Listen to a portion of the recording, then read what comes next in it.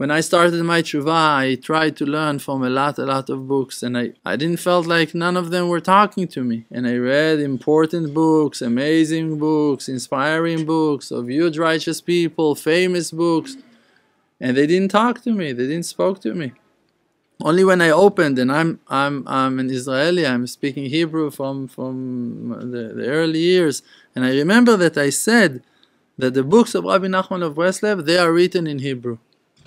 Them I can understand. Uh, all of the books are written in Hebrew. Yeah, but I couldn't understand them. I couldn't. Those books are talking to your soul. Why? How? How come? In the generation of Rabbi Nachman of Breslev 200 years ago, they were talking Yiddish. In Uman, in Breslev, in all of those areas in, in, in Ukraine, they were talking Yiddish. They were not talking Hebrew. You open the Likutei Halachot that's been written by Rabbi Natan, you think it's someone from Bat Yam wrote that book. You can't, it's, it sounds Israeli. Weird, weird words that are being used today.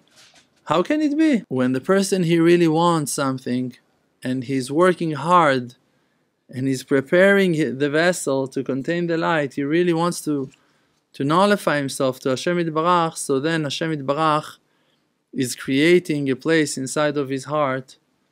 Because in the path that you want to walk in, they're going to lead you in that path. If you're going to want to purify yourself, really to purify yourself, you can become to be like Rabbi Nachman of Breslev. And we're not exaggerating. Rabbi Nachman of Breslev himself he said that. He said, I can make you to be exactly like me, like I am. Im tirtzu, if you will want.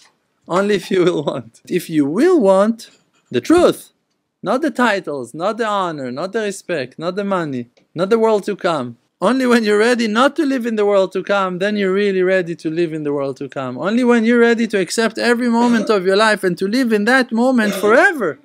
Even if this moment is a moment of crazy suffering, wild suffering that no one can understand, that no one can describe, that no one can, can can go through that suffering only if you're ready to live with Hashem Barach in that moment forever, like that moment, to be with Hashem in that moment, in that position, in that sorrow, with that pain forever, that calls eternal life.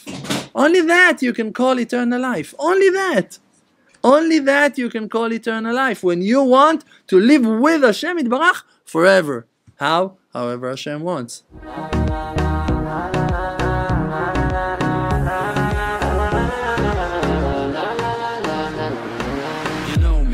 RDMC with the Emuna project, all the nations with me. Close your eyes, just breathe, see the truth. Don't chase the fake world, don't buy the fake news. Be yourself, your own true self. Don't let no one take our natural wealth. See the good, no fear, no despair.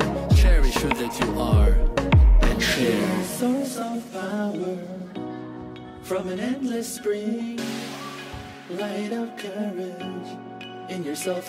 They can kick you down to the ground. Hold yourself up till you are, put up your crown. King of the creator, holy soul inside. Focus on the spiritual and you shall.